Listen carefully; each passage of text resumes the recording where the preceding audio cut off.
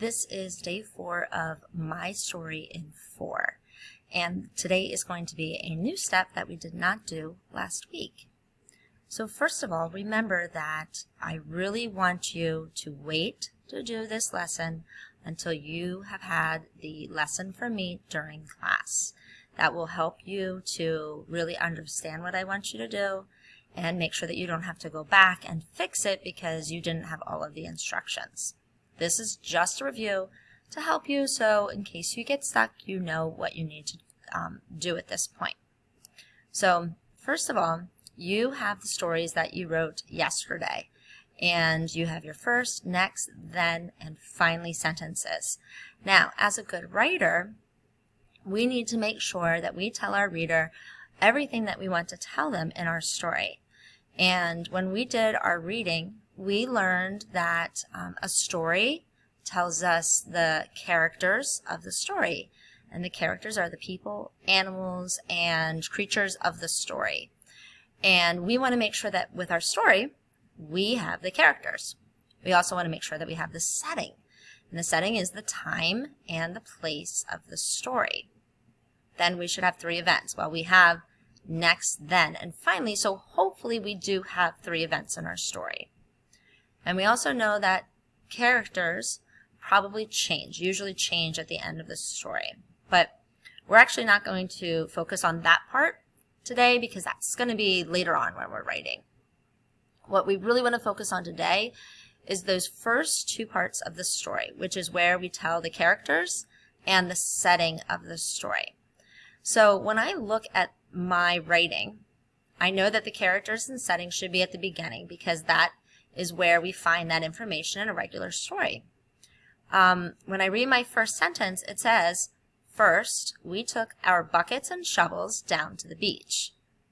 All right, well, I said we, so that tells you that one of the characters is me, but it doesn't tell you who the rest of the characters are. And so for a good story, I should really be telling who the characters are in my story. So I'm going to go back and I'm going to edit this story, which is our step four.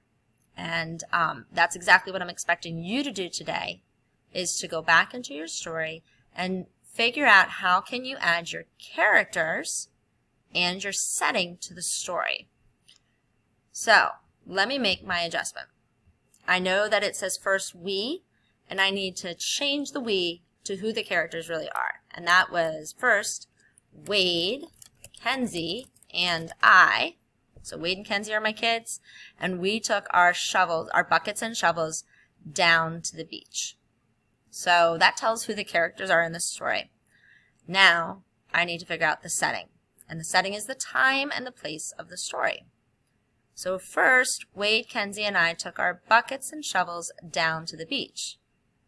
Ah, hey, the beach. That's the setting, right? That's the place of the story. But I don't have a time. So I didn't say when we did this. Um, where can I, what can I say to tell the time? I could say it was 8 a.m.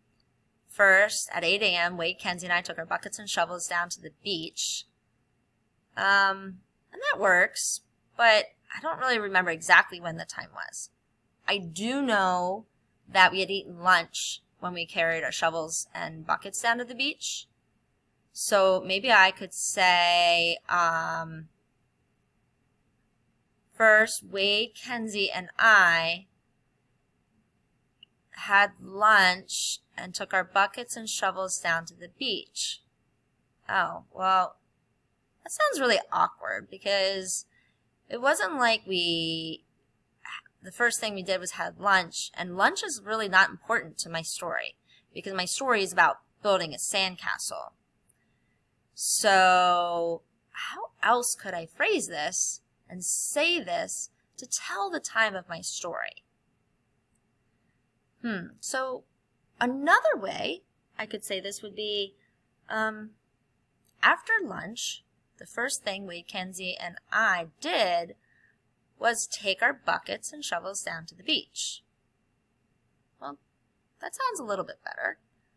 Um, notice that if I say it that way, after lunch, the first thing Wade, Kenzie, and I did was take our buckets and shovels down to the beach. Um, so for this one, I had to change some of the words that were in my sentence to make the sentence correct. And you'll notice that I don't have the word first actually first. And that's okay because I still have it in my sentence because it does help the reader to understand the order the events occurred in my story. And you know what? I kind of like that. Actually, it's pretty good. But there's other ways I could do this. So let me go back and start from where I was. So again, I have first, Wade, Kenzie, and I took our buckets and shovels down to the beach. Now remember, I'm trying to figure out the time of the setting that I want to put in my story. And I could say, first, Wade, Kenzie, and I took our buckets and shovels down to the beach. Next, we spent the afternoon building a big sandcastle. Hmm. Does afternoon tell you the time? Yes, it does. Does the beach tell you the place? Yes, it does. Are my characters in my story? Yes, they are. And do I still have my time order words? First, next, then, finally? Yes, I sure do.